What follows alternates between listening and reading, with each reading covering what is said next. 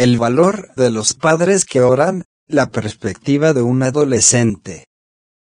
Este artículo está adaptado de Cinco cosas para orar por sus hijos, oraciones que cambian las cosas para la próxima generación.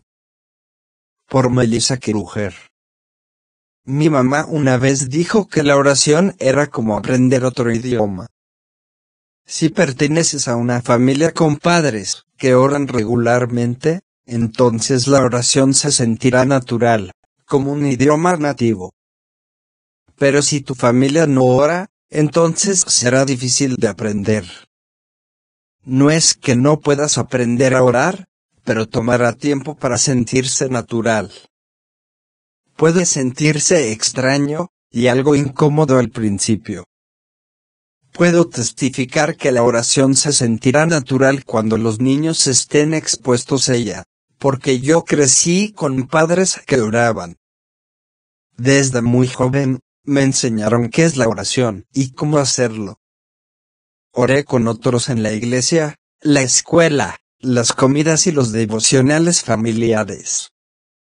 Siempre fue solo una parte de lo que era y se sentía como una parte normal de la vida.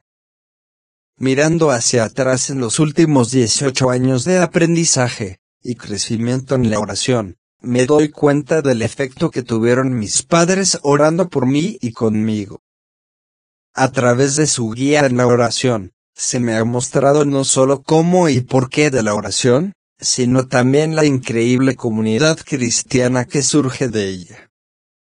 Aprendiendo por ejemplo. Mis padres no me dieron una clase para enseñarme a orar. No había manual de instrucciones, video, o conferencia. Simplemente aprendí observándolos orar todos los días. A través de su ejemplo, pude entender mejor la importancia de la oración grupal y personal. Cada noche, sentado junto a mi cama, mi padre leía una historia bíblica y oraba con mis hermanos y conmigo. Cada mañana bajaba para ir a la escuela y veía a mi madre terminando su tiempo de silencio mientras escribía sus oraciones al Señor. Debido a que mis padres oraron conmigo, nunca me pareció extraño o desconocido. Nunca me sentí incómodo con la oración, porque la convertían en una parte tan normal de mi vida. De mismo modo, Nunca me sentí confusa sobre cómo hablar con Dios. Al ver a mi madre todas las mañanas a solas con el Señor, comencé a priorizar este mismo tipo de tiempo, y empecé a comprender la importancia de la oración. Comencé a escribir mis oraciones como lo hizo mi mamá, y a medida que crecí en este tiempo, entendí más a Dios, y por lo tanto, entendí más la oración. Dios es mi Padre, mi Rey, mi amigo. Lo vi como cariñoso y amoroso en mis penas, pero también como gobernante y rey sobre mi vida. Juntas, estas verdades me brindaron consuelo, paz, y un amor creciente por mi Creador. Comunidad de oración. El ejemplo de mis padres me enseñó que buscar en la comunidad cristiana, especialmente cuando me preparo para ir a la universidad. La oración es una parte esencial de sus amistades.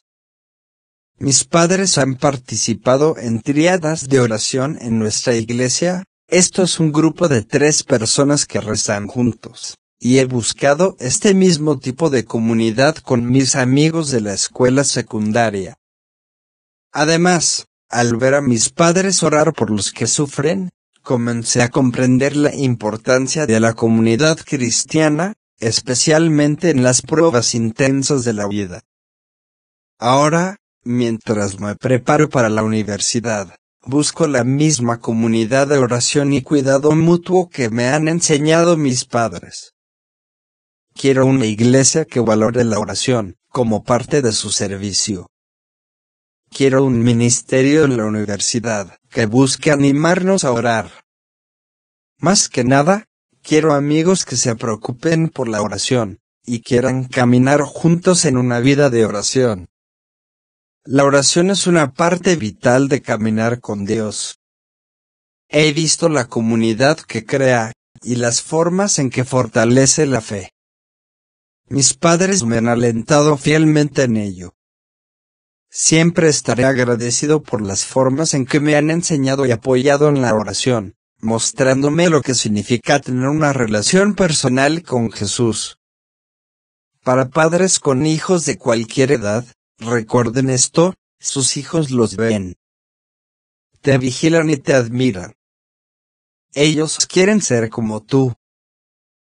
Qué increíble sería si la próxima generación tuvieran padres que oran, y así es como ellos quisieran ser cuando crezcan. Ora por él con tus hijos. Muéstrales cómo oras, dales un devocional diario, ora con ellos por la noche. Tu ejemplo enseñará, tus oraciones serán escuchadas, y tus hijos serán animados.